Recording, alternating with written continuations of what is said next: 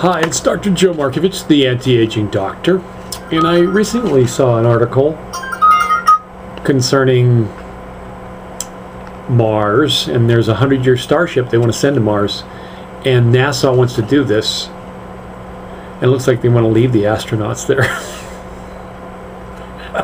they signed me up. and the funny thing is, uh, the funny thing is about Mars, it's, of course, farther from the sun, colder.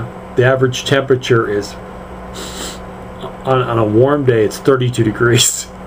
on a cold day it could be minus 225 Fahrenheit. The atmosphere is mostly carbon dioxide. And I just came up with a brilliant idea. Why would we bother going to Mars to try to colonize it? All we got to do is wait about 100 more years and our Earth will be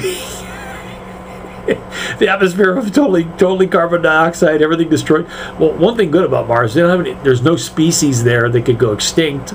So I, I think we just wait a little bit. Well, everybody will be extinct except for us. It'll be all carbon dioxide. We'll have to wear masks wherever we go.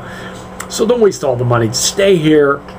Uh, we got a nice little setup. When we wreck it, um, maybe we can move on to a better planet. I don't know. There's got to be something out there.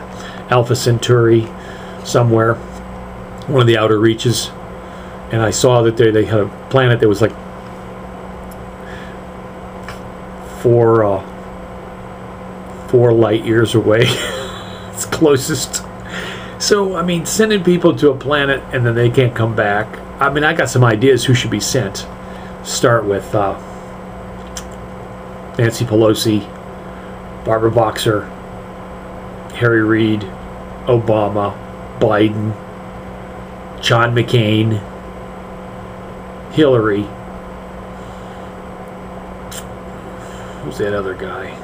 Well, anyway, there's a lot of Democrats and Republicans need to go on this trip, and I'm all in on that. So, anyway, it's Dr. Joe, the anti-aging doctor, coming up with more brilliant health problems, answering more brilliant health health questions with my sage wisdom, and uh, keep spreading the word, guys.